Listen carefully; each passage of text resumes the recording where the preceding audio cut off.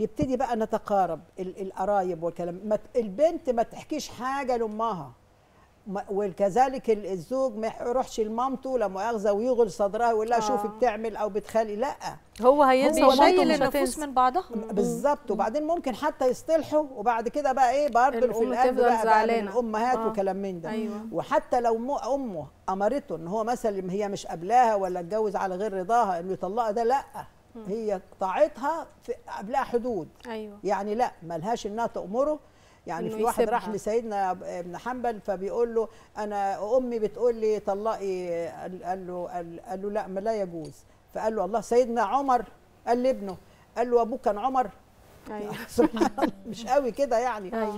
فبقول لحضرتك تبقى البيوت في في أسرار كده مكتومة كده. البيوت مقفولة على على على محبة.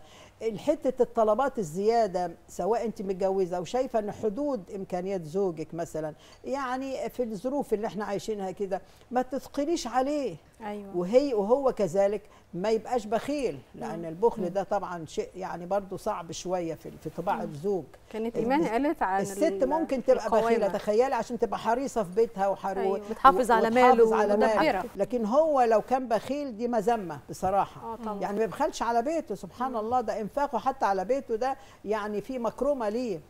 حاجات كتيرة الحقيقة الواحد لما بيقعد يشوفها ويشوف حتى ال ال في بعض قريت كتاب سبحان الله بقيت قاعدة سبحان الله مش مصدقة على إن إزاي الأولياء كانوا مبتلين بزوجاتهم.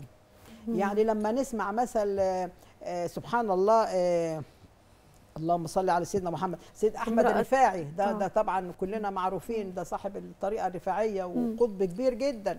يقول لك كانت زوجته يعني لسانها طويل جدا وبعدين سبحان الله كان أحد ال ال ال الناس ال- اللي هم سبحان الله ال- تلامذته كان شاف له رؤية إنه آه سبحان الله في مقعد صدق.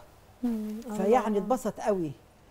فلما راح يشوفه لقى مراته ضرباه بال بتاع التنور ده.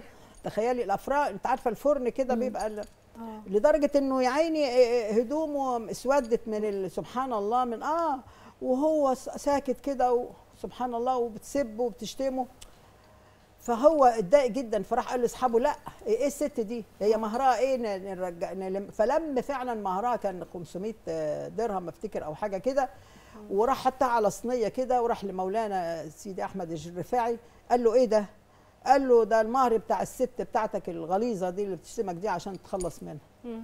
قال له ما أنا صبري عليها هو اللي, اللي اللي أنت في اللي أنت. شفتها إن أنا حجز له مقعد. صدق الله شفت إزاي